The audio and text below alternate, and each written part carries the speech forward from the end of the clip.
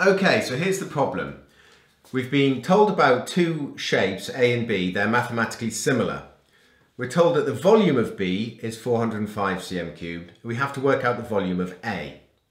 And all we know is that the ratio of their areas is 4 to 9.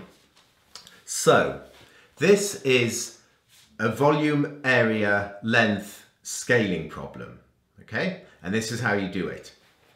Write it out like this. We have A and B and we know that the area ratio is 4 to 9. And what we're going to do is work out the length ratios and then the volume ratios, okay? Now, I know it's not asked about length in this question, but write this down anyway, it's important. We have to find the volume of A, but we're going to work out the length ratios first. And by length, what I mean is just some one-dimensional property of A and B. It could be the length of one of the sides, it could be like the height or the depth, it doesn't matter. It's just some one, one dimensional property. Area is two dimensional, volume is three dimensional, length, I've, I've called it length, it's just some one dimensional property. We're going to work out the ratio of, let's say, if you looked at the same side on both A and B, then that would be, it would be the length of that side, but it could be any of the sides on both A and B. Okay, right. When you know what to do, it's quite simple. You just do it like this, okay? To go from the area to the length ratios, you just take the square root. Okay, so we're going to square root these two. The square root of 4 is 2 and the square root of 9 is 3. So straight away we know the ratio of the lengths of the sides of A and B. Okay? And now, once we know that, we can work out the ratio of the volumes of A and B. You simply cube these numbers, okay? So you've got the number and you just cube it. Okay, I'll write cube. Okay, so what's 2 cubed? Well, it's 2 times 2 times 2, which is 8. What's 3 cubed? 3 times 3 times 3 is 27. Okay? And that's it. That's how you find the ratio of the volumes of A and B.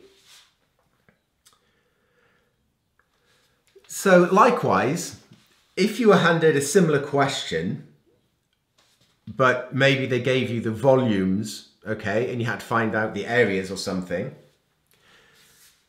to go from the volume to the length, you do the opposite. If you go from there to there, you cube it, but if you go from there to there, you would take the cubed root, okay? Likewise, going from area to length, you square root, but going from length to area, you would square it. As you can see, 3 squared is 9, or the cubed root of 27 is 3. Okay?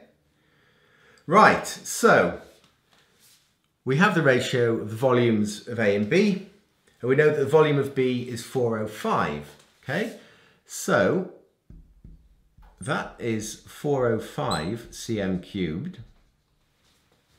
And we have to find the volume of A. So let's call it, let's call it A. Okay. Right, so now we're going to use our skills of converting ratios into equations. And you do it like this. 827 is what we want to 405. What you do, you just put an equal sign in there put a dividing line there and a dividing line there. And straight away we have an equation. What we've got is 8 over A is equal to 27 over 405. Okay? So that's how you go from ratios to an equation. Equal sign, line, line, and you've got it. Okay? Now we just need to solve this and we've got A.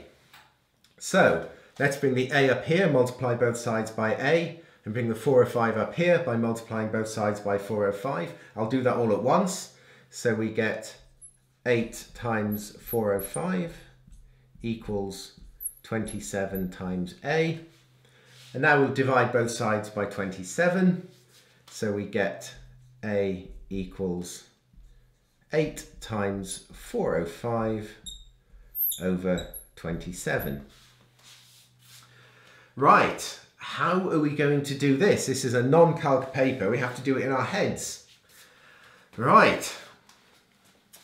Well, 8, 3 doesn't go into 8, but 3 goes into 27.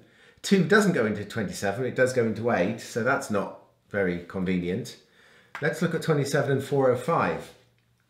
We know that 3 goes into 27, it's 3 nines. Does 3 go into 405? There's a little trick you can use to work out if a number is divisible by 3. Just add up all the digits and if that number is divisible by 3 then the original number is divisible by 3. 4 plus 0 plus 5 is 9 therefore 405 is divisible by 3. So let's divide 405 and 27 by 3. Okay, so, well, 27 divided by 3 is 9. 3 into 405 is going to be, well, 100 times 3 is 300. That leaves 105. And 35 times 3 is 105. So it's 135. Okay, slightly better. Same thing again. Is this divisible by 3? 1 plus 3 is 4 plus 5 is 9. Yes, it is. So we'll divide that and that by 3 again. And we get 8 times something over, well, 9 divided by 3 is 3. 3 into 1, 3, 5. Uh, 3 into 120 is 40. That leaves 15, so it's 45. Okay. And now we can do it because I can do 45 divided by 3, it's 15. So it becomes 8 times 15, which is 8 times 10 is 80, 5 eighths is 40, 80 plus 40 is 120 centimetres cubed. Okay, so there we go. A is 120 centimetres cubed. And that's how, how you do it. Write it out like this and you flip between length, area and volume by squaring, square rooting, cubing, cubed root. That's it. And yeah, converting from ratios to equations, you've got it written out like that in ratios. Stick an equal sign in, line, line, and that's how you turn it into an equation. Thank you for watching. I hope you found this video helpful. If you did, please click the like button and it would be a massive help if you could subscribe. It would also be amazing if you could support me on Patreon. All the papers and everything are on my website, drjem.com, and I'm also on social media. Thank you.